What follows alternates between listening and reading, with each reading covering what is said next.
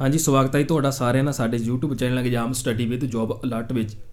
Punjab TET ਦੀ answer key ਹੈ ਜੋ ਕੱਲ ਆ ਚੁੱਕੀ ਹੈ ਜੀ 2018 ਦਾ ਐਗਜ਼ਾਮ ਜਿਹੜਾ 2020 ਵਿੱਚ ਹੋਇਆ ਸੀ। ਤਾਂ ਇਹ ਤੁਹਾਨੂੰ ਜਾਣਕਾਰੀ ਦੇਣੀ ਆ ਓਬਜੈਕਸ਼ਨ ਲਗਾਉਣ ਸੰਬੰਧੀ। ਕਿਸ ਤਰ੍ਹਾਂ ਤੁਸੀਂ ਇਹ ਜੋ ਓਬਜੈਕਸ਼ਨ ਲਗਾ ਸਕਦੇ ਹੋ, ਇਹਦੀ ਸਟੈਪ ਬਾਈ ਸਟੈਪ ਵਿਸਤਾਰ ਸਹਿਤ ਜਾਣਕਾਰੀ ਅਸੀਂ ਤੁਹਾਨੂੰ ਦੇਵਾਂਗੇ। ਬਿਲਕੁਲ ਸੌਖੇ ਤਰੀਕੇ ਨਾਲ ਹੈ ਜੋ ਓਬਜੈਕਸ਼ਨ ਲਗਾਈ ਜਾਂਦੀ ਹੈ।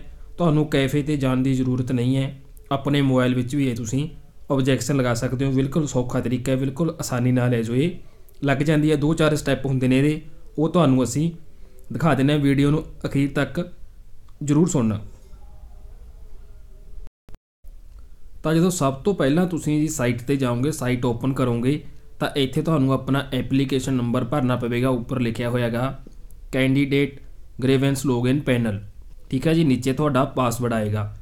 ਜਿਵੇਂ ਕਿ ਐਪਲੀਕੇਸ਼ਨ ਨੰਬਰ ਸੇਮ ਹੀ ਆ, ਸਾਰਿਆਂ ਦਾ ਐਸ ਅੱਗੇ ਜ਼ਰੂਰ ਲਗਾ ਦੇਣਾ 181 181 ਅਸੀਂ ਜਿਵੇਂ ਫੋਰ ਐਗਜ਼ਾਮਪਲ ਇਹ ਐਪਲੀਕੇਸ਼ਨ ਨੰਬਰ ਲਿਆ ਹੋਇਆ ਹੈ, ਇਹ ਪਿਛਲੇ ਹੈ ਜੋ ਪੰਜ ਅੱਖਰ ਹੀ ਹੁੰਦੇ ਨੇ ਮੇਨ 181 181 ਸੇਮ ਰਹਿੰਦਾ ਹੈ। ਤਾਂ ਨੀਚੇ ਤੁਹਾਡਾ ਪਾਸਵਰਡ ਹੋਏਗਾ, ਉਹ ਤੁਹਾਡੇ ਕੋਲ, ਤੁਹਾਡੀ ਜੀਮੇਲ 'ਚ ਜਾਂ ਐਸਐਮਐਸ ਵਿੱਚ ਹੋਏਗਾ। ਤਾਂ ਉਹ ਇੱਥੇ ਸਭ ਤੋਂ ਪਹਿਲਾਂ ਤੁਸੀਂ ਭਰਨਾ, ਇਸ ਤੋਂ ਬਾਅਦ ਲੌਗਇਨ ਤੁਸੀਂ ਕਰ ਦੇਣਾ। ਤਾਂ ਇਸ ਤੋਂ ਬਾਅਦ ਅਗਲਾ ਸਟੈਪ ਕੀ ਹੋਏਗਾ? ਤਾਂ ਇਸ ਤੋਂ ਬਾਅਦ ਤੁਸੀਂ ਕੀ ਕਰ ਸਕਦੇ ਹੋ? ਇਸ ਤਰ੍ਹਾਂ ਦਾ ਪੇਜ ਤੁਹਾਨੂੰ ਸੈਕੰਡ ਸਟੈਪ ਤੇ ਓਪਨ ਹੋਵੇਗਾ, ਜਿਹਦੇ ਵਿੱਚ ਲਿਖਿਆ ਹੋਵੇਗਾ download answer key candidate OMR sheet ਠੀਕ ਹੈ ਜੀ? ਤਾਂ ਅਗਰ ਤੁਹਾਡੇ ਕੋਲ ਆਨਸਰ ਕੀ ਨਹੀਂ ਹੈ, ਜਾਂ ਤੁਸੀਂ OMR ਸੀਟ ਦੁਆਰਾ ਆਪਣੇ ਪੇਪਰ ਦੀ ਹੈ ਜੋ ਡਾਊਨਲੋਡ ਕਰਨਾ ਚਾਹੁੰਦੇ ਹੋ, ਤਾਂ ਉਹ ਕਰ ਸਕੋਗੇ। ਪਹਿਲਾਂ ਤੁਸੀਂ ਸਿਲੈਕਟ ਕਰਨਾ ਹੋਵੇਗਾ ਤੁਹਾਡਾ ਪੇਪਰ ਕਿਹੜਾ ਹੈ? ETT ਲੈਵਲ ਦਾ, ਯਾਨੀ ਕਿ ਪਹਿਲਾ ਪੇਪਰ ਹੈ, ਜਾਂ ਫਿਰ B.Ed ਲੈਵਲ ਦਾ ਦੂਸਰਾ ਪੇਪਰ ਹੈ। ਤਾਂ ਇਹਦੇ ਵਿੱਚ ਤੁਸੀਂ ਸੈੱਟ ਕਰਨਾ ਹੋਵੇਗਾ ਕਿਹੜਾ ਤੁਹਾਨੂੰ ਪੇਪਰ ਆਇਆ ਸੀਗਾ। ਇਹ ਦੋ ਚੀਜ਼ਾਂ ਸੈੱਟ ਹੋ ਜਾਣਗੀਆਂ। ਇਸ ਤੋਂ ਬਾਅਦ ਤੁਸੀਂ ਆਨਸਰ ਕੀ ਤੇ ਕਲਿੱਕ ਕਰੋਗੇ ਤਾਂ ਆਨਸਰ ਕੀ ਹੈ ਜੋ ਡਾਊਨਲੋਡ ਹੋ ਜਾਵੇਗੀ। ਇਸ ਤੋਂ ਬਾਅਦ ਅਗਰ ਤੁਸੀਂ OMR ਸੀਟ ਕਰਨਾ ਚਾਹੁੰਦੇ ਹੋ, ਤਾਂ ਉਹ ਹੈ ਜੋ ਡਾਊਨਲੋਡ ਹੋ ਜਾਵੇਗੀ। ਤਾਂ ਇਹ ਤਾਂ ਇਹ ਪੈਟਰਨ ਆ ਗਿਆ ਜਿਹਦਾ ਤੁਸੀਂ ਬੁੱਕਲੇਟ ਆਨਸਰ ਕੀ ਅਤੇ ਕਿਸ ਤਰ੍ਹਾਂ ਡਾਊਨਲੋਡ ਕਰ ਸਕਦੇ ਹੋ। ਇਸ ਤੋਂ ਬਾਅਦ ਹੈ ਜੋ ਤੁਸੀਂ ਤੁਹਾਨੂੰ ਇੱਥੇ ਦਿਖ ਰਿਹਾ ਹੋਵੇਗਾ ਗ੍ਰੇਵੈਂਸ ਪੈਨਲ ਇਸ ਤੇ ਕਲਿੱਕ ਕਰਨਾ ਹੈ ਆਬਜੈਕਸ਼ਨ ਲਾਉਣ ਦੇ ਲਈ। ਇਹਨਾਂ ਤੋਂ ਤੁਹਾਨੂੰ OMR ਸੀਟ ਦੇ ਆਨਸਰ ਕੀ ਡਾਊਨਲੋਡ ਹੋ ਜਾਏਗੀ, ਆਪਣੀ ਡਿਟੇਲ ਫਿਲ ਕਰਕੇ। ਇਹ ਤੀਜੇ ਸਟੈਪ 'ਚ ਆਏਗਾ। ਇੱਥੇ ਕਲਿੱਕ ਕਰਨਾ ਤੁਸੀਂ ਗ੍ਰੇਵੈਂਸ ਪੈਨਲ ਤੇ।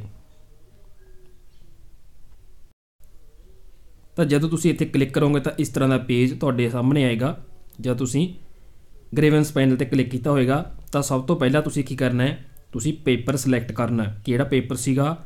ਤੇ ਫਿਰ ਕੁਐਸਚਨ ਬੁਕਲੇਟ ਨੰਬਰ ਇਹ ਸਿਲੈਕਟ ਹੋਏਗਾ। ਇਸ ਤੋਂ ਬਾਅਦ ਜਿਵੇਂ ਤੁਹਾਨੂੰ ਕਰਕੇ ਦਿਖਾ ਦਿੰਨੇ ਅਸੀਂ ਸਿਲੈਕਟ ਪੇਪਰ ਪੇਪਰ 2 ਹੈ ਜਾਂ ਪੇਪਰ 1 ਹੈ, ਇਹ ਹੋ ਜਾਏਗਾ। ਇਸ ਤੋਂ ਬਾਅਦ select number A, B, C ਜਾਂ D, ਇਹ ਹੋ ਜਾਏਗਾ। ਤਾਂ ਟਾਈਪ ਆਏਗਾ ਕਿ ਤੁਸੀਂ ਇਹ ਜੋ ਕਿਸ ਤੇ ਹੋ ਕਰਨਾ ਹੈ। ਆਬਜੈਕਸ਼ਨ ਲਗਾਉਣੀ ਹੈ ਇਨਵੈਲਿਡ ਕੁਐਸਚਨ ਤੇ ਲਗਾਉਣੀ ਹੈ। ਰੋਂਗ ਆਪਸ਼ਨ ਆਈ ਹੋਈ ਹੈ।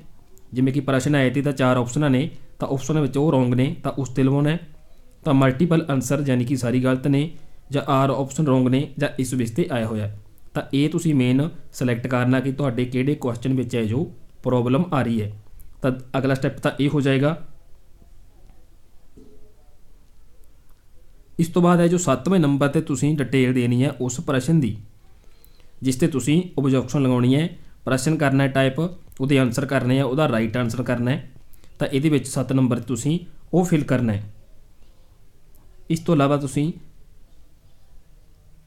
2 ਤੇ 4 ਨੰਬਰ ਨਹੀਂ ਸੈੱਟ ਕਰਨਾ 6 ਨੰਬਰ ਤੇ ਆਉਨੇ ਅਸੀਂ, ਤਾਂ ਇੱਥੇ ਤੁਸੀਂ ਸਿਲੈਕਟ ਆਨਸਰ ਕਰ ਦੇਣਾਗਾ ਕਿ A ਆਨਸਰ ਸਹੀ ਹੈ ਜਾਂ B ਹੈ ਜਾਂ C ਹੈ, ਜਾਂ ਫਿਰ D ਆਨਸਰ ਸਹੀ ਹੈ, ਜਿਹੜੇ ਵੀ ਪ੍ਰਸ਼ਨ ਦਾ। ਤਾਂ ਇੱਥੇ ਇਹ 8 ਨੰਬਰ ਹੈ, ਇਹ ਅਟੈਚ ਜੀਪੀਜੀ ਫਾਈਲ ਯਾਨੀ ਕਿ ਤੁਸੀਂ ਪੀਡੀਐਫ ਨਾਲ ਲੈਣੀ ਹੈ ਜਾਂ ਫੋਟੋ ਲੈ ਲੈਣੀ ਹੈ, ਜਿੱਥੋਂ ਤੁਸੀਂ ਉਹ ਪ੍ਰਸ਼ਨ ਪੜ੍ਹਿਆ ਹੈ, ਜਿੱਥੇ ਉਹਦਾ ਆਨਸਰ ਸਹੀ ਦਿੱਤਾ ਹੋਇਆ ਹੈ ਅਤੇ ਪੰਜਾਬ ਟੈਟ ਵਿੱਚ ਗਲਤ ਆਇਆ ਹੋਇਆ। ਉਹ ਇੱਥੇ ਚੂਜ਼ ਫਾਈਲ ਕਰੋਗੇ ਜਦੋਂ ਤੁਸੀਂ, ਤਾਂ ਆਪਣੇ ਆਪੇ ਗੈਲਰੀ ਚੱਲ ਜਾਏਗੀ ਜਾਂ ਡਾਕੂਮੈਂਟ ਵਿੱਚ ਚੱਲ ਜਾਏਗੀ, ਉੱਥੋਂ ਸਿਲੈਕਟ ਕਰ ਲੈਣੀ ਹੈ। ਇਸ ਤੋਂ ਬਾਅਦ ਹੈ ਜੋ ਤੁਸੀਂ ਇੱਥੇ ਨੀਚੇ ਸਬਮਿਟ ਲਿਖਿਆ ਹੋਇਆ ਹੈ, ਇਹ ਸਬਮਿਟ ਕਰ ਦੇਣਾ ਹੈ। ਤਾਂ ਤੁਹਾਡੀ ਜਿਹੜੀ ਆਬਜੈਕਸ਼ਨ ਹੈ ਜੋ, ਉਹ ਅਪਲਾਈ ਹੋ ਜਾਏਗੀ। ਬਿਲਕੁਲ ਸੌਖਾ ਤਰੀਕਾ ਹੈ, ਅਗਰ ਨਹੀਂ ਸਮਝ ਆਇਆ, ਤਾਂ ਵੀਡੀਓ ਨੂੰ ਫਿਰ ਤੋਂ ਸਟਾਰਟ ਕਰਕੇ ਤੁਸੀਂ ਦੇਖ ਸਕਦੇ ਹੋ। ਸੋ ਇਹ ਇਨਫੋਰਮੇਸ਼ਨ ਤੁਹਾਡੇ ਨਾਲ ਸ਼ੇਅਰ ਕਰਨੀ ਸੀ। ਬਾਕੀ ਮਾਸਟਰ ਕੇਟ ਦੀਆਂ ਅਸੀਂ ਵੀਡੀਓ ਜੋ ਪ੍ਰੋਵਾਈਡ ਕਰ ਰਹੇ ਹਾਂ, ਪੰਜਾਬੀ ਹਿਸਟਰੀ ਅਤੇ ਐਸਐਸਟੀ ਦੀਆਂ। ਸੋ ਵੀਡੀਓ ਨੂੰ ਲਾਈਕ, ਕਮੈਂਟ ਅਤੇ ਅੱਗੇ ਜਰੂਰ ਸ਼ੇਅਰ ਕਰ ਦਿਓ ਤਾਂ ਜੋ ਹਰ ਤੱਕ ਇਹ ਇਨਫੋਰਮੇਸ਼ਨ ਹੈ ਜੋ ਪਹੁੰਚ ਸਕੇ।